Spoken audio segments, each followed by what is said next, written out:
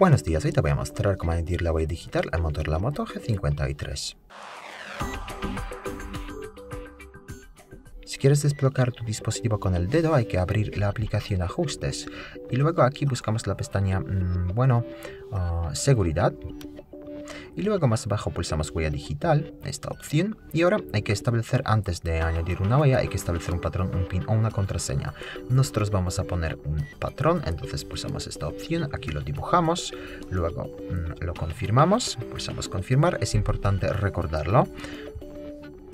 Bueno, ahora elegimos una de estas opciones, bueno, da igual, pulsamos después de eso listo, y ahora pulsamos configurar, y seguimos bueno las instrucciones. Eh, colocamos el dedo en el sensor que se encuentra bueno aquí. Y escanamos el dedo.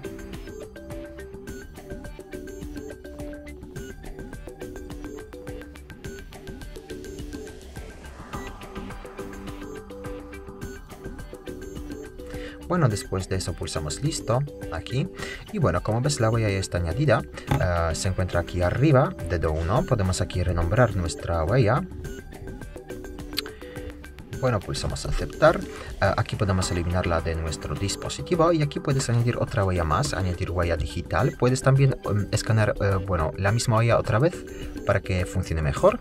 Y bueno, ya desde, ah, bueno, desde la pantalla de bloqueo podemos introducir mm, nuestro ah, patrón para desbloquear el dispositivo o simplemente colocar el dedo en el sensor.